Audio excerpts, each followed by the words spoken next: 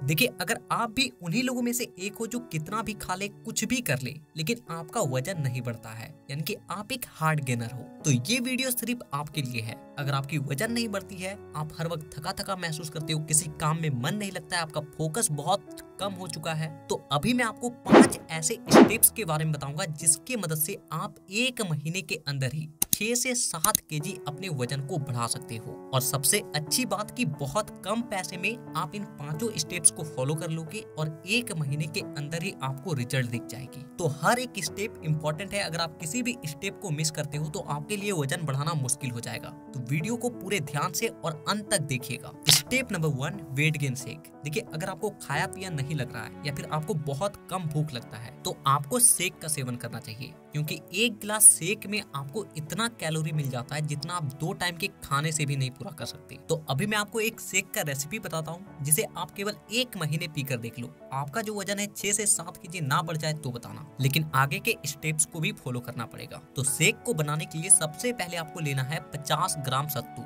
जो कि प्रोटीन से भरपूर है। इसके बाद आपको लेना है दो बनाना, यानी कि दो केले। इसके बाद आपको लेना है एक चम्मच अलसी के बीज। ये ऑप्शनल है, आप चाहे तो डाल भी सकते हैं। नहीं तो नहीं भी डाल सकते हैं। लेकिन ये वेट गेन में काफ़ी हेल्प करती है। तो मैं तो सजेस्ट करूँगा कि आप इसे डालें ही। और फिर इसमें डालना है एक चम्मच पीनट बटर आप कोई सा भी बढ़िया कंपनी का पीनट बटर ले सकते हो। और फिर इसमें आपको मिलाना है एक गिलास दूध। अगर आपको दूध नहीं बचता है तो आप पानी भी मिला सकते हो। फिर इसे आप अच्छे तरीके से ग्राइंड कर लें और आपका वेट गेन शेक तैयार है। इस शेक को आपको नाश्ते के बाद लेना है या फिर आप दो टाइम लेना चाहें तो आप एक बार नाश्ते के बाद लें और दूसरा वर्कआउट के बाद भी ले सकते हो। स्टेप नंबर टू आपको व्यायाम यानी कि एक्सरसाइज करना ही पड़ेगा। आपको हफ़्ते में कम से कम छह दिन वर्कआउट करना पड़ेगा। एक दिन आप रेस्ट रख सकते हो, जिस दिन आपका बॉडी रिकवर हो। आप में से बहुत से लोगों के मन में ये आता है कि ना तो हमारा मसल्स ज़्यादा है, ना हमारे बॉडी में फैट है तो क्या हम व्यायाम करते हैं तो हमारे लिए ठीक होगा? बिल्कुल ठीक होगा। देखिए, व्यायाम क्या करता है कि आपके ब्लड सर्कुलेशन को इम्प्रूव करता है, जिससे आपका जो इंटरनल ऑर्गन है वो ठीक तरीके से काम कर पाता है। आप जो कुछ भी खाते हो, वो आपके शरीर में लगती है।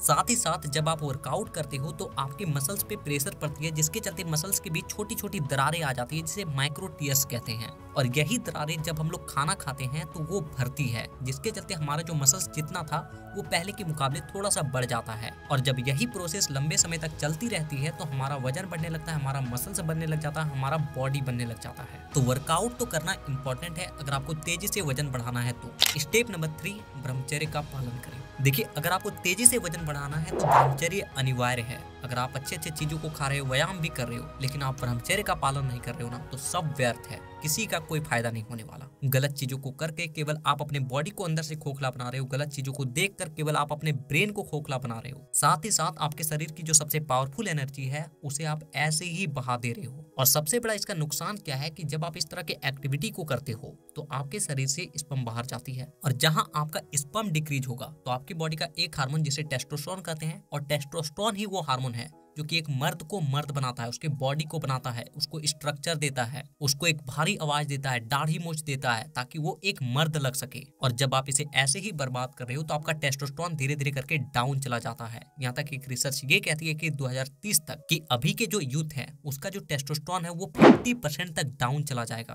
यानी कि 2030 तक जो नपुंसकता की संख्या है, वो कई गुना ज़्यादा बढ़ जाएगी। तो मर्द बनो, अपने शरीर को मज़बूत बनाओ, अपने आप को मानसिक और शारीरिक, दोनों रूप से मज़बूत बनाओ। स्टेप नंबर फोर गहरी नींद लो। देखिए, आप सब अच्छा कर रहे हो, अच्छे चीज़ों को खा रहे हो, अच्छे से वर्कआउट कर रहे हो, ब्रह्मचर्य का भी पालन कर रहे हो, लेकिन अगर आपका नींद पूरा नहीं हो रहा, आप गहरी नींद नहीं ले रहे हो तो आपका वज़न बहुत स्लो बढ़ेगा, बहुत धीरे धीरे बढ़ेगा। क्योंकि जब हम लोग गहरी नींद में होते हैं तो उसी समय हमारा बॉडी रिकवर होता है। हमारे बॉडी के मसल्स बनते हैं बॉडी में हार्मोन्स बनते हैं। उस वक्त नहीं बनता है जब हम लोग वर्कआउट कर रहे होते हैं, काम कर रहे होते हैं, खा रहे होते हैं, उस वक्त कुछ नहीं होता है। उस वक्त होता है जब आप गहरी नींद में होते हो। लेकिन आज के यूथ तो सबसे बड़ा गलती यही कर रहे हैं। वो देर रात तक मोबाइल चलाएँगे, रील्स देखेंगे, गंदी वीडियोस को देखेंगे, अपने आप को खोखला बनाएँगे। भाई, इन सब चीज़ों से कुछ नहीं मिलने वाला। आप अपने जीवन को पूरी तरीके से खोखला कर लोगे, अपने जीवन को बर्बाद कर लोगे। तो इन सब चीज़ों से बाहर निकलो और समय से सो और सुबह सूर्योदय से पहले उठ जाओ। आपको अपने शरीर में एक अलग ही ऊर्जा का एहसास होगा। स्टेप नंबर फाइव, पाचन तंत्र को स्ट्रॉन्ग बनाओ। देखिए, जब भी वज़न बढ़ाने की बात आती है तो हम लोग क्या सोचते हैं कि क्या खाएँगे, क्या ज़्यादा से ज़्यादा खाएँगे?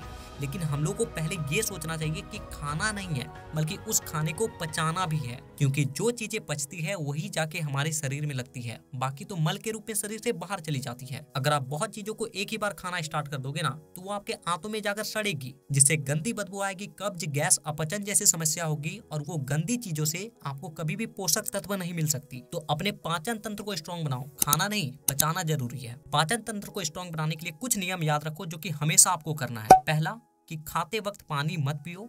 दूसरा कि भोजन को अच्छे तरीके से चबा कर खाओ, ताकि उसमें आपका सलाइवा, आपका लार ठीक तरीके से मिल जाए और वो आपके आंतों में जाकर, आपके पेट में जाकर अच्छे तरीके से टूटे और उसका कनकन आपके शरीर में लगे। और तीसरा, खाने में एक चीज़ ऐसा ज़रूर खाएँ जिसमें फाइबर हो। और फाइबर किसमें होता है? हरी सब्जियों में, फल में या फिर आप सलाद बनाकर खा सकते हो। ये फाइबर क्या करती है? यही आपके आंतों से मल को मल द्वार तक लेकर जाती है। मतलब समझ रहे हो कि वही गंदगी को साफ़ करने का काम करता है। अगर आपके बॉडी में फाइबर की कमी है तो ना तो आपके मल ठीक तरीके से साफ़ होगा और ना ही आपको खाया पिया ठीक तरीके से लगेगा। साथ ही साथ एक ज़रूरी नियम कि ज़्यादा तेल से बने चीज़ों को ना खाएँ। इसके अलावा पैकेट बंद चीज़ों को भी परहेज करें। ये पाँच ऐसे स्टेप थे, जिसे आप केवल तीस दिन, केवल एक महीने फॉलो कर लेते हो ना तो आप अपने आप को मानसिक और शारीरिक दोनों रूप से बदल लोगे। अभी मुझे कमेंट करके ये बताओ कि अभी प्रेजेंट टाइम में आपका वज़न कितना है और आप अपने वज़न को कितना तक बढ़ाना चाहते हो? और अगर आपको इस वीडियो से जरा सा भी हेल्प मिली हो, थोड़ा सा भी तो वीडियो को लाइक करके चैनल को सब्सक्राइब ज़रूर कर दीजिएगा ताकि अगली वीडियो जब भी आए, वो वीडियो आपके पास सबसे पहले पहुँचे। तो वीडियो देखने के लिए दिल से धन्यवाद।